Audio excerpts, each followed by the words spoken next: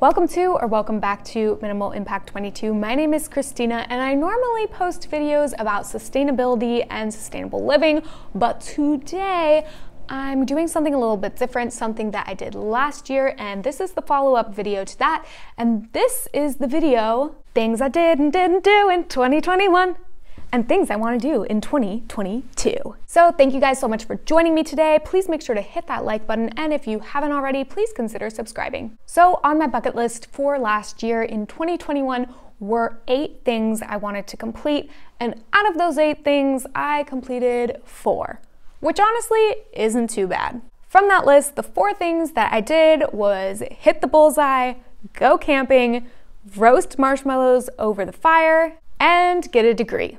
So I did hit the bullseye. It took multiple attempts and my boyfriend's encouragement and some guidance on my form, but yes, I did hit the bullseye with an arrow and I had a lot of fun. I also went camping with my roommate from college, Laura, and it was freezing. It was literally 20 degrees that night. We were so cold. We hardly slept at all because we were both scared and freezing, but we did have a ton of fun and I would totally do it again. And while on that camping trip, we did roast some vegan marshmallows over the fire. Vegan marshmallows are superior can't convince me otherwise. If you haven't tried them, you definitely should. They're so good. And I did graduate with a degree in communication studies and international studies with Spanish emphasis. Now, some things that I did do in 2021 that weren't on my bucket list, but I feel like I should share anyway, were I got my first job, I got my first apartment, I got published in a magazine,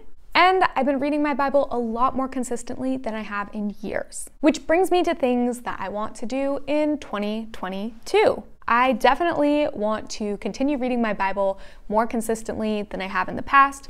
I feel like it has really helped me in my own faith, and I hope that it will continue to do that. Since I recently moved to a new location, there's so many things for me to explore, and one way that I want to do that is by every single month going to a local event of some kind. I also want to take some classes that will enrich me. I'm not sure what type of classes I want to take yet. It might be art, it might be languages, I don't know. If you have any suggestions for classes you may have taken that really impacted you positively, please let me know down below in the comments. I'm definitely open to some different ideas. Something else I want to do in 2022 is help a local community. For my work, I go to community service centers a lot, which help individuals who often can't afford to buy necessities like diapers, clothing, or food. And I really want to help those community service centers reach their local communities, whether this be through writing stories about these centers, by donating time, or by donating money. I really just want to help make an impact. Now, you might be wondering okay, you had eight things on your bucket list for 2021, you only did four. What about the other four? Well, to that, I will say I am still hoping to do them in 2022, and those four items are going to a drive in movie theater.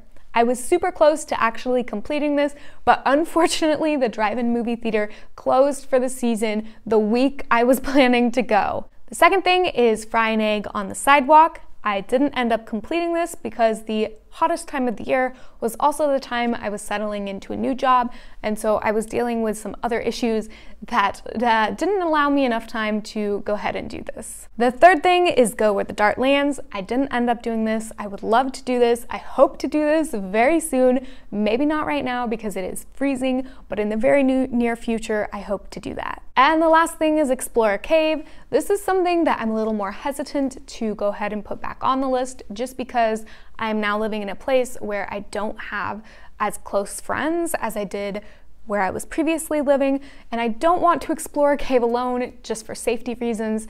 So, yes, I would like to do this. Will this happen? I'm not sure, but I'm gonna go ahead, put it on the list, see what happens.